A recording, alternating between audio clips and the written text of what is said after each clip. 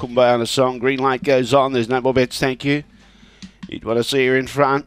Set away. She jumped beautifully. She's got about a three length lead already now. And uh, yeah, running into second placing was Barbara. Best in red's handy and coming at the leader. Looks dangerous. Behind those top Nolan's trying to get going. It's about five lengths from the leader. It's still running on. She had a bit of a kick there. Kumbana Song got clear. Top Nolan's coming at it strongly, but giving it two lengths into the front straight. Kumbana Song's going to hold on and beat Top Nolan. Or Barbara lunge late may have snitched second in front of Top Nolan. Then in turn behind those, there's a go between uh, Bathurst Bogan, Dinah Hogan, and also Electra Solly. Ardoc was at the tail end of the field, pulling up quickly as well We're Best in Red. The time 23.03. Number one, the winner. They got the cash.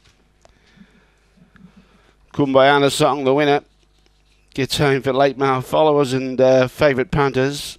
Barbara gets second, number eight in front of number three, Top Nolan. One beats eight and three. 23.83 was the time. 23.83 the time. She had a good kick around the bend, set up a, a, bit of a break, and held on by three quarters of a length at nose between second and third. Number five runs fourth, which was Dinah Hogan. 1835, 1835.